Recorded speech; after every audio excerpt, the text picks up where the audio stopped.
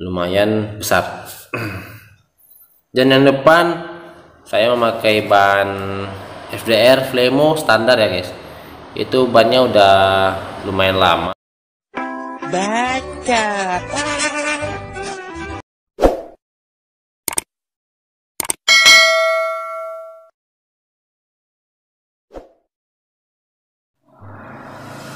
Assalamualaikum warahmatullahi wabarakatuh Welcome back to my channel. Oke okay guys.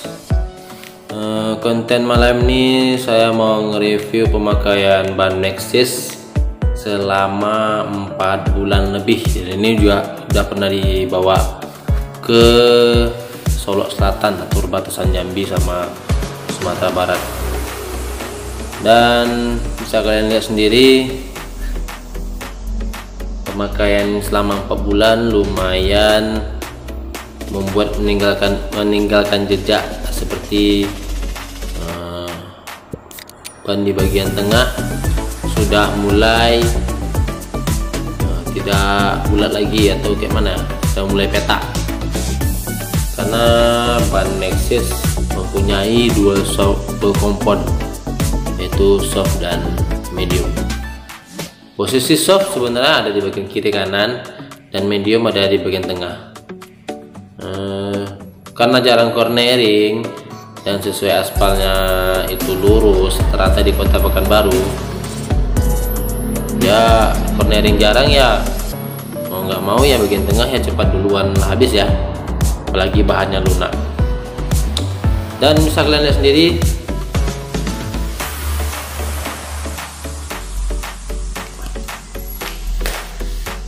ban bagian sebelah kiri ini tidak terlalu haus ya. Tidak terlalu haus. Nah, kalian bisa lihat dari atas di atas ya guys. Ban sudah mulai kelihatan petak di bagian tengah. Jadi bagian tengah sudah mulai haus. Mungkin bisa dibilang 80 atau 70 persen sisanya. Jadi selebihnya sudah hilang dimakan aspal. Dan untuk daya lekatnya sebenarnya masih tetap bagus ya. Masih tetap mantap untuk dibuat cornering. Kemarin pernah dibuat cornering sekali dan itu masih bisa dibilang sangat memuaskan. Dan ini ukuran bannya 100 per 80 70 kemarin ya. Ada video sebelumnya udah saya review juga perbandingan ban Maxxis Extramax sama versus FDR MP76 mana cocok yang lebih yang cocok untuk cornering jadi kalau untuk harian Maxis saya merekomended. Dan rasio sengaja dibuat terbalik. Nggak tahu karena bagi ya karena uh, sudah dari pabriknya menyuruhkan rasio terbalik terbalik. Kita lihat rasio tanah panahnya apakah memang disarankan orang tuh terbalik atau tidak? Eksis ya? Eksis. Ukuran bannya kemarin di tanggal pembuatannya tang eh, bulan pembuatannya bulan 6 2021 bulan 6 sekarang bulan berapa? Bulan 10 itu kan 4 minggunya ini extra make rasionya menuju ke depan. Rasionya menuju ke depan. Kalau seandainya rasionya ini sejajar dengan rasio ini mungkin arah jarsi rasio dari uh, ban ini ke depan ke belakang. Nggak tahu maksud dari uh, pabrik Nexus sendiri nggak tahu karena mereka memakai buatnya kayak gitu ya kita harus ikuti begitu. Supaya di perjalanan tidak terjadi hal yang tidak diinginkan. Uh, ini karena ukuran 100 jadi saya letak yang di bagian belakang. Sebenarnya ukuran 100 ini untuk motor-motor yang berfairing ya. Ukurannya yang di depan seperti fairing kan enggak yang naked boleh. Yang sekelas-kelas 150 cc lah ya. Jadi ini kemarin dianjurkan punya fiction atau CP gitu Perza ukurannya 100 per 80 jadi kemarin ini udah ada yang uh, nawar harganya. Kemarin kan nggak ada niat jual gitu kan. Karena sekarang juga agak susah ya ingin dijual kan sayang. Karena udah dipakai 4 bulan tak mungkin dijual. Main sebelum dipasang udah ada yang nawar sekitar 300an gitu. Nah, ini modalnya harganya 390 atau 300 berapa kemarin? Nanti ada video sebelumnya ya tonton video itu sebelum tonton video sebelumnya nanti kalian bakalan tahu.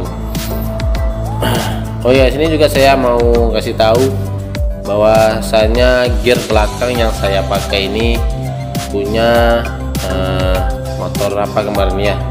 Ukurannya matanya 39 yang pasti ini punya merek Honda ya jadi uh, tenaganya lumayan cukup mumpuni. Jadi waktu di jalan juga hampir mengimbangi CBR dua setengah. Nggak tahu mungkin karena ramai atau jokinya kurang apa lihai atau gimana saya nggak tahu.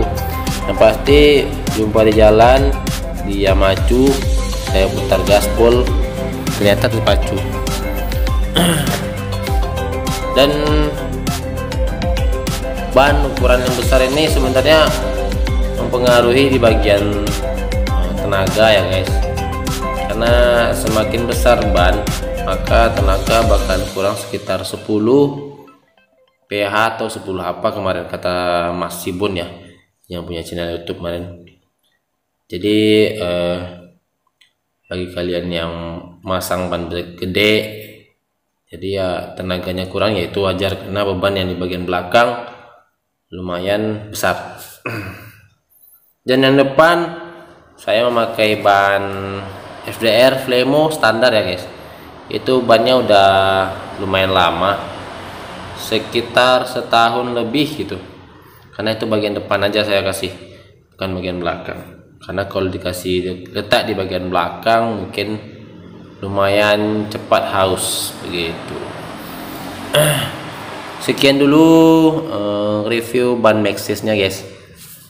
Karena konten yang ingin dibuat itu bukan tidak ada. Ada tapi waktunya yang kurang uh, untuk bikin video. Dan kita penutupan aja lah ya. Uh, oke okay guys. Kalian bisa tonton video ini ban yang untuk oh, cocok untuk cornering maupun trek basah ataupun kering. Basah cukup buat untuk kita cornering tapi ingat jangan dilakukan jangan lakukan di tempat uh, jalan raya sebab kalau kalian crash pada saat tikungan atau cornering maka orang lain bakalan kena begitu. Kalau bisa kalian lakukan di sirkuit atau mungkin mungkin di jalan-jalan yang sepi atau memang udah ada udah nggak ada orang seperti seperti jam-jam jam 2 jam 3 begitu. Udahlah capek baca terus. Oke guys sekian dulu nge-review ban Maxxisnya setelah sekian 4 bulan dan kemarin juga dibawa ke bawa touring. Sempat jumpa sama anak SFFC Pekanbaru. Di Pariaman kalau nggak salah. Nah, itu tuh salah satu membernya bannya bocor. Oke guys. Sekian dulu video review bannya uh, apabila ada yang ingin bertanya silahkan kolom di kolom komentar dan Jangan lupa like, comment, and share dan jangan lupa loncengnya ya guys. See you the next video. Assalamualaikum warahmatullahi wabarakatuh.